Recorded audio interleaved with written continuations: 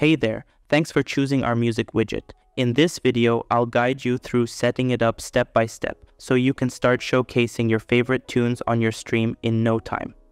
Before we dive into using your widget, let's make sure you've got everything you need. First off, this widget is hosted on Stream Elements, so make sure you've got an account set up there before diving into the setup process.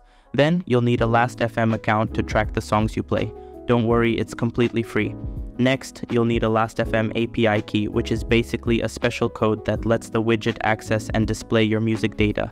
And finally, if you're not exclusively using Spotify, you might want to grab the Web Scrobbler browser extension to track songs from other platforms. Don't worry if this seems a bit overwhelming at first. We'll walk you through each step of the process. Setting up your Last.fm account. To get started, head over to Last.fm and sign up for an account. Make sure you verify your email address, that's important. Once you're signed up, connect your preferred music streaming service to your Last.fm account.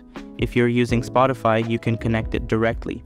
Otherwise, you might need to install the Web Scrobbler browser extension. Getting your API key and username.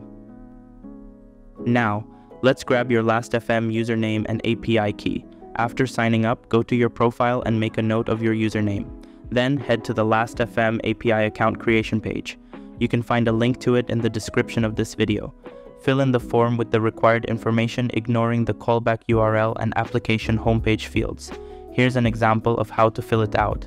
After submitting the form, you should see your API key. Make sure to copy and save it securely. Remember, your API key is sensitive information, so treat it like a password and don't share it with anyone else. This key allows access to your music data, so keeping it private is crucial for your account security. Connecting your Spotify account. If you're using Spotify, connecting it to Last.fm is super easy. Just head to the Track My Music page on Last.fm, scroll down to the Spotify section, and hit Connect. If you're already logged into Spotify on your PC, you'll get a pop-up confirming the setup. Setting up a Web Scrobbler browser extension. Even if you're using Spotify, we recommend setting up the Web Scrobbler extension. It's quick, free, and allows you to track music from tons of other platforms. Start by visiting the Web Scrobbler website, link is in the description, and download the extension for your browser. Once it's downloaded, go ahead and install it. After it's installed, a window will pop up. Click on the settings icon. From there, go to the Accounts tab and sign in to your Last.fm account.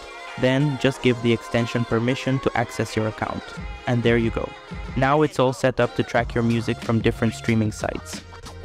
Stream Elements Widget Setup. Now let's set up the widget on Stream Elements. Log into Stream Elements with your YouTube or Twitch account. Navigate to the widget folder in the package you downloaded, choose the file for your streaming platform and install it. Then edit the widget, paste in your API key and Last.fm username and save your settings.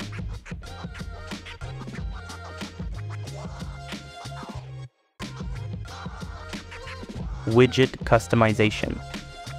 Each of our music widgets comes with different customization settings.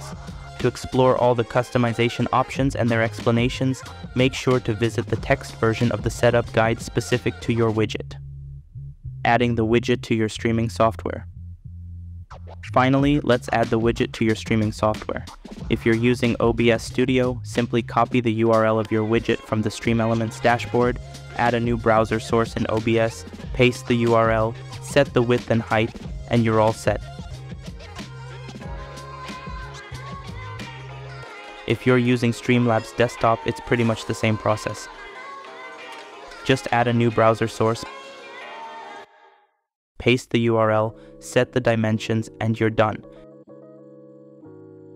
And that's it. Your widget should now be up and running on your stream, displaying your favorite tunes for all your viewers to see.